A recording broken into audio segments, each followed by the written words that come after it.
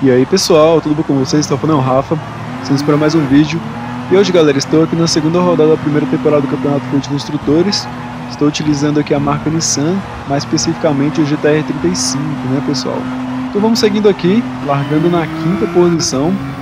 Ali atrás a gente já vê que o sexto colocado deu uma escapada, né galera? Eu acho que foi alguma coisa que aconteceu ali, né? Não sei se foi ele lá jogando e tal, mas foi muito estranho, né? O carro já foi direto pra grama. Então, vamos indo aqui, né galera? Fazemos aqui a primeira parte, né? O piloto ali atrás ele veio um pouco mais afastado, né? Devido ao problema lá que aconteceu. A gente segue aqui no vácuo, né pessoal? Já temos uma vantagem aqui, né? De estar tá mais tranquilo em relação aos carros que vêm atrás, né? Não tem nenhuma pressão, então a gente vai se concentrar aqui para buscar a quarta posição, né galera? A gente já vê que eles deu uma distanciadinha ali, né? Nesse momento estava um pouco nervoso, né? Início de corrida, gente sabe como é que é, carro 4x4 tende a espalhar um pouco à frente, né? Então ele tem uma saída de curva um pouco diferente, né galera? E vamos indo aqui, a gente já vê ali uma disputa de posições, né? Os três pilotos ali bem juntos, né galera? com isso a gente tenta fazer as curvas da melhor forma possível, né, sempre abrindo. Lembrando que essa pista de Alsácia, ela é uma pista toda aberta, né, então para a gente conseguir aqui um traçado ideal, temos que abrir bastante nas curvas, até porque isso vai ajudar a gente a economizar pneu, né galera, e ter uma melhor performance aí durante a corrida. Aí vamos indo aqui, né, sempre aproveitando o vácuo abrindo bem aqui, galera, aqui ela já vai fechando, né? Então a gente tem que tirar o pé e colocar o carro mais para dentro possível e evitar espalhar, né? Já que a gente vai ter que fazer uma tangência aqui, né? Mais fechada e retorno, né, galera? Provavelmente a gente vai voltar tudo, né? Então a gente tem que pegar bem por dentro ali, né? Pra voltar a acelerar mais forte. A gente vai, né? Tipo, sobe, aí tem que descer, se, se mergulhando para pegar um retorno, né? Então ali tem que ter um momento certinho, porque se acelerar você já vai ver a grama, então tem que ter um momento certo ali. E aqui a gente tem que vir bem por fora, né pessoal? No final da chicaninha que a gente vai trazendo o carro, né? Nesse momento aqui eu dei uma exagerada ali, mas era questão de primeira volta, né? Agora vamos nos concentrar aqui, né? Para buscar P4 e tentar chegar nos outros, né galera? Então meio que o traçado mais pelo canto, né? Para pegar, subindo aqui com mais velocidade, né galera?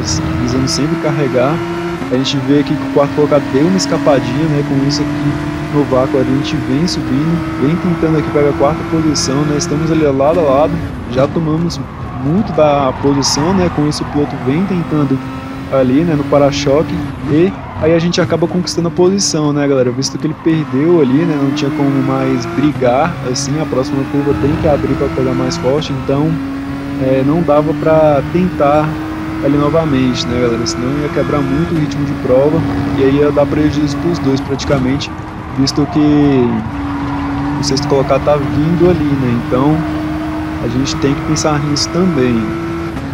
E vamos indo aí, né? O terceiro e o segundo ele deu uma distanciada. Agora a gente vai ver ali, né, a questão dos pneus dianteiros que a gente já vê na segunda volta, né, pessoal? Já tem um desgaste bem acentuado. Isso daí se dá ao fato do carro ter tração dianteira, né?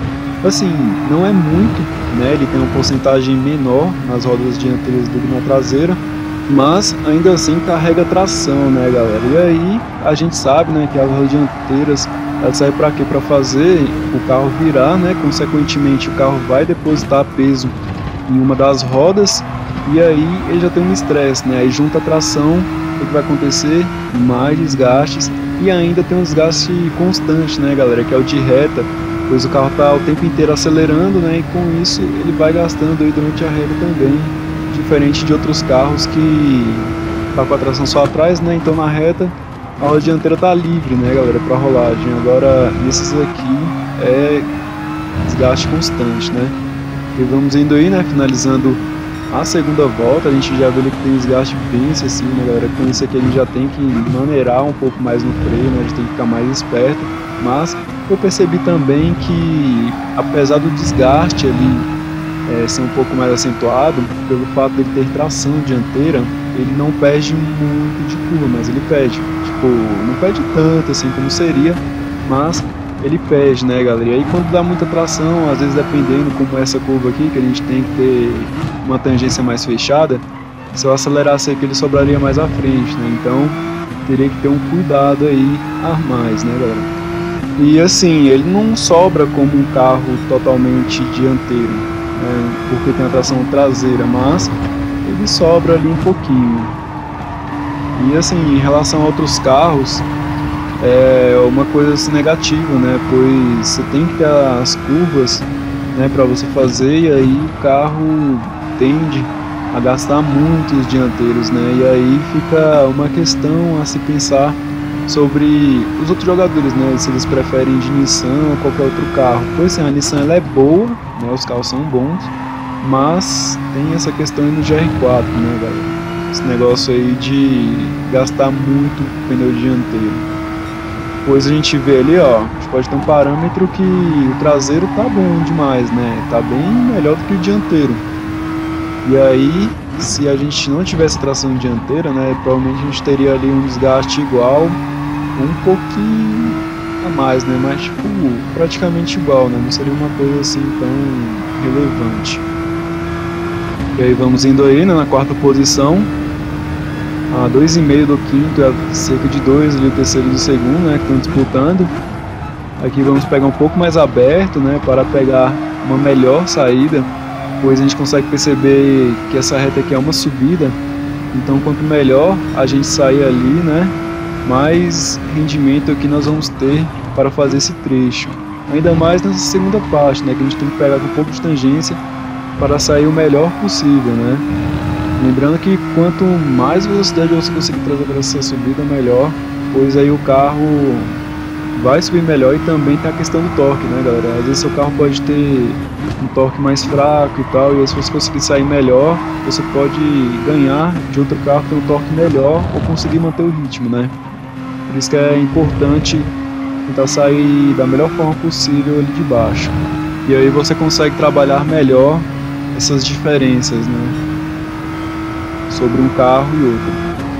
Pegamos aqui novamente, né? Aqui a gente tem que pegar um pouco mais aberto, trazer o carro mais para dentro, né? E aqui, quanto mais por dentro é, poder trazer o carro, melhor para ele poder sair ali sem muita força G, sem espalhar demais ou gastando muito pneu. Então, para mim, por exemplo, era muito importante, né, eu ter uma boa tangência ali para sair mais para o canto da pista. Vamos aqui nessa curvinha, ela com pneu novo ele dá pra fazer 120, né? Eu tava fazendo assim a 110, 111. Aqui eu já tava me preservando mais, pois tem que abrir, né, e trazer o carro aqui mais para dentro, sem ter que abrir aquela barriga, né, tipo, trazer o carro lá pro outro lado e trazer o carro pra cá de volta, trazer ele para dentro. Isso daí já faz você perder muito tempo e muito pneu também, né. E isso é uma lição que você leva para todas as pistas, né? Quanto menos você balançar o carro, né, e quanto menos você puder encurtar a distância entre uma curva e outra e facilitar aí na questão da força G, melhor para você economizar equipamento e tempo também, né? Agora vamos aqui aos boxes, né? A gente consegue observar que é uma curva bem fechada, não há tempo para esquecer da entrada dos boxes, né? Ali se você pegar a tangência aberta assim como se fosse mesmo, você vai acabar perdendo, pois a entrada é bem na saída, é bem na saída da curva, né? E não lá na frente como a gente é acostumado nas outras pistas. E vamos aí, né? Perdemos aqui várias posições devido às voltas de box, né? Estamos aqui na nona posição. O NSX ele deu uma escapadinha, né? Agora a gente aproveita aqui o vácuo do Lexus para ganhar um pouco mais de força, né? O GTR já tem assim, uma aceleração melhor que o NSX, com isso a gente consegue aqui a oitava posição e agora vamos conquistar a sétima, sexta e quinta, né, galera? Vamos aqui dar uma esperadinha, né? Visto que o piloto ali disputou uma posição, enquanto isso o piloto Everson deu uma atrasada, né? E aí demos um toque, mas infelizmente não aconteceu nada demais foi só um belisquinho mesmo. E aqui vamos tentar uma posição, né, pessoal? Vamos abrir aqui, né, deu uma reduzida aqui para evitar, né, de bater na traseira do piloto. Vamos colocar aqui uma pressãozinha, aproveitar o barco do piloto da Orma, né, para facilitar a ultrapassagem e ganhamos aqui a sétima posição, né? Vamos aqui agora a sexta, né? Aproveitar que estamos com os pneus melhores e fazer uma tangência um pouco mais fechada, mas com mais saída, né, galera? Vamos aqui respeitar dois passos do piloto da Orma e garantimos aqui a sexta posição. Né? Vamos aqui agora a quinta, né? Já caímos aqui no vácuo, saímos muito bem ali da curva, né? Vamos aqui dar aquela abertura, né, como já expliquei para vocês, e focar na tangência mais fechada, né? Nesse momento aqui eu dei uma aceleradinha a mais, né, pois já saquei que ia dar uma sobradinha ali, então poderia adiantar com mais facilidade, né? Lógico que eu tirei o pé um pouco antes para pegar a tangência, porque se eu continuasse a pegar muito apertado ali, né? E como eu tenho que ganhar tempo, foi praticamente que eu ganhei, né? Andei muito no vácuo aqui provavelmente eu vou estar tá saindo aí na frente do segundo e terceiro, né? Vamos ver aí o que, que vai acontecer, né, galera? A gente já vê que o pessoal ali entra até cedo, ó. Entrou ali e já vai sair na outra ponta, né? Um pitch bem rápido, né? Fiquei surpreendido com esse pitch, os caras já saíram aqui, então dá uma abertura aqui, né? Já pego aqui por dentro e garanto a segunda colocação, né, galera? Saí aqui e peguei os dois na saída dos boxes, né? Então eu fiz uma volta assim muito boa, né? Tive um ritmo bom ali com o vácuo do pessoal também e aí consegui sair na frente deles, né? Mas vamos ver aí agora se temos pneu para segurar, né, galera? A gente vê que o GTR ele gasta muito pneu também, o pessoal ali anda bem até e não gasta assim tanto pneu dianteiro, né? Quanto o carro que eu estou usando. A gente vê no replay, né? Que eles vêm juntos ali, né? O terceiro, quarto colocado ele vem um pouquinho mais distante, mas tá por ali, né? Com a disputa que vamos ter aqui agora, ele vai se aproximar, né? Com certeza. A gente vê no replay, né, galera? Esse replay mostra tudo, a gente pode ver ali o piloto se aproximando, né? Sensacional. E aqui, né, vamos a uma defesa, né? Ele colocou um pouco mais por dentro, mas a próxima curva é minha, né? Se eu sair aqui junto com ele, né? Então ele não tem chance na próxima curva, né? Só vamos respeitar aqui o espaço dele, a gente vê no mapa ali que ele afastou, né? Caímos aqui na frente e vamos aqui fazer a tangência defensiva, né, galera? Vamos tentar aqui segurar, né? Eu sei que ele é um piloto mais rápido que eu, né? Ele tá mais rápido, tá com um carro melhor. Então eu vou tentar aqui ver se eu consigo, né, galera? Pois o certo, né? Respeitar ali, né? O ritmo de cada piloto, lógico a gente tem que tentar, né, para ver se o piloto vai conseguir, né, mas eu vi assim que ele estava muito mais forte que eu e aí eu não vou segurar o cara para não dar um acidente, né, galera? Isso, lembrando que isso é ética de corrida, né? O cara tá mais rápido, tem muitas voltas ali ainda, então não vale a pena, né? Minha briga não é com ele, então vamos respeitar isso daí, né? Eu tentei segurar ali, né? Tentei ver se eu conseguiria, mas eu vi ali que não dá, né? De fato não dá, então eu acabei facilitando e para não dar ruim também, né? E aqui tivemos um fato, né? Que eu passei um pouco do ponto de frenagem, né? Eu acho que o piloto ele passou um pouquinho lento ali do que ele costuma, aí acabei tocando nele, fiz o fair play, né? Obviamente, e voltei aqui a disputa, né, galera? Com esse fato aí, o quarto colocado vem tentando aqui disputar né, a terceira colocação, mas a curva aqui é minha, né? A próxima, eu não consegui disputar com o piloto da Porsche, né? Mas eu vou tentar disputar com o piloto da Citroën, né? Assim, a gente vê que os pilotos estão mais rápidos, mas não custa assim você tentar para ver se você consegue, né? Às vezes o cara tava ali no ego ali, né? P2 ali e tal, e ele pode dar uma caída de rendimento, né? A gente tem que testar isso e é isso que eu tô fazendo. A gente vê ali que ele tá bem na cola, né? uma defensiva aqui, né? Obviamente colocar o por dentro para fazer a curva também.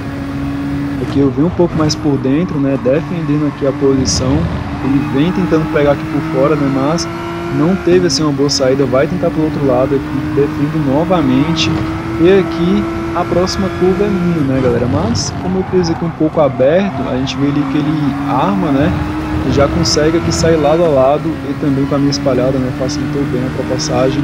Mas como eu vi que ele estava mais rápido, né, nem eu consegui segurar ele também, por ele tá com o pneu melhor, né? Além disso, eu tirei o pé ali um pouquinho e deixei ele passar, né? E é isso, meus amigos. Tipo, eu tentei disputar ali, né? Vocês viram, né? Disputei ele até onde dava. Os caras estão com um equipamento melhor, né? Tá com mais pneu ali, tá com um rendimento um pouco melhor também, então eu tentei, né? Todo piloto tem o direito de tentar, né? Segurar ali a posição, ver se vai conseguir, né? Eu vi que não consegui com o Porsche, fui tentar com o Citroën, também não consegui, e com isso deixei eles passarem para evitar disputas desnecessárias, é, toques, acidentes às vezes, porque você sabe, né, quando os caras têm oportunidade, né, eles sabem que vão conseguir ali de alguma forma, eles tentam, tentam, tentam, tentam, e aí, tipo, você vai gastar muito pneu disputando, né, com o GTR que vocês veem ele não favorece, né, nesse aspecto, então não, compensa, não compensava para mim, né, fazer essas disputas. E aí fica uma observação, né? A gente vê que nas corridas tem pilotos assim que são mais fracos, né, ou que não estão correndo bem no dia, né, segurando pilotos é, que estão melhores, mais bem treinados e tal, segurando muito, sabe? Tipo, não é pouca, tipo assim, ó, o cara consegue disputar, beleza. Agora quando o cara vê que tá com rendimento muito mais baixo, tenta segurar, isso daí é antiético na, na minha visão, né? Pois o cara não está reconhecendo que ele está de certa forma acabando com a corrida e a estratégia de outros pilotos, né? Estão ali disputando melhor, disputando a ponta, ou às vezes até um retardatário também. O cara tenta disputar, entendeu? Sendo que uma coisa totalmente errada, você tem que deixar o cara passar, entendeu? Aí fica fica essa lição aí para vocês, né? de assim, precisa da questão, né? Com quem eu estou disputando na pista, né? A gente tem que ter essa visão aí para preservar o ritmo de corrida e também a boa corrida de todos, né? Porque também ninguém quer perder posição. Tipo, eu tô aqui na quarta, eu vou ficar disputando e aí dá ruim e eu acabo perdendo a posição pro quinto, pro sexto colocado. Aí também não compensa, né, galera? Visando aqui também que a sala tá com uma pontuação boa. Então não vou ficar arriscando à toa, né? E aí fica essa lição aí, essa observação para vocês, que aí me ajudou muito, continua me ajudando, até mesmo em campeonato, às vezes eu já entro lá na, na corrida, ah, eu vou querer essa posição aqui, se chegar nessa que tá top, na próxima corrida eu vou conseguir melhor que a pista eu consigo andar nela. É sempre tendo essas visões, galera. É assim que se ganha né, um campeonato, é assim que se ganha uma corrida também, né? Por exemplo, eu posso estar aqui de boa, os caras lá disputando e eles deram um toque lá e deram para alguém. Ganhei a posição do cara, entendeu? Então, não é uma jogada perdida você deixar o pessoal ir lá disputar. Não é, entendeu? Você tem uma chance ainda. Sempre tem, né? Enquanto não passou a bandeirada, ainda tem uma chance, beleza, galera? Ele quase deu ruim, né? Nossa, com o pneuzinho ali, nesse momento eu aliviei tudo. Até a direção, né? A gente vê ali que não tem pneu, tá na grama, né? E aí o negócio fica muito perigoso. Estamos a uma distância segura, né, do quinto colocado, então não vamos ter aqui maiores preocupações, né? Só de trazer o carro para a linha de chegada mesmo nona volta. Ele Dico ele disparou na frente, né, pessoal? Andou demais. Ele fez todas as rodadas aí. Parece que nesse dia não estava dando assim muita pontuação, né? Como de costume. Acho que faltou muita gente aí, né? Então não estava assim com um plano tão alto, mas estava uma pontuação legal. E vocês veem é que o carro tá sofrendo, né? Naquele último stint eu dei quatro voltas então foi mais de boa. Agora, quando você dá quatro voltas e vai fazer a quinta volta com esse pneu já ruim, aí já é para acabar, né? Já é para rodar no arame. Então, da quarta para a quinta volta tem muita diferença, diferente da terceira para a quarta, né? Da quarta para a quinta tem mais diferença ainda. E agora vamos finalizar aqui a última tangente, né? Com muito cuidado. Aí a gente consegue perceber que o terceiro colocado escapou, né? Se a gente tivesse aqui mais próximo, teríamos conseguido a terceira posição, né, que é o que eu falei para vocês. Acreditar sempre, né, só quando cruza a linha de chegada que tudo acaba e os caras estavam lá disputando, né, deu ruim, o cara rodou, se estivesse mais próximo tinha conseguido, né, como vocês viram aí. E é isso aí, galera. Nesse sumi desses dias estava aprendendo sobre setup, né? Agora vai vir um novo quadro no canal que é analisando os setups dos campeonatos que eu vou fazendo e eu vou mostrando aqui tudo para vocês fiquem ligados aí que vai estar saindo tudo aqui agora sobre o setup. Finalmente achei um modo de conversa sobre isso com vocês, beleza? E os campeonatos sendo como me refiro na Liga ZGT e na Liga Pilotos, né? Todas as informações estão aqui na descrição, assim como o Instagram, para você seguir lá e saber quando tem vídeo novo, beleza, galera? E é isso aí, muito obrigado por ter assistido eu vou ficando por aqui. Valeu, falou e fui, até o próximo dia.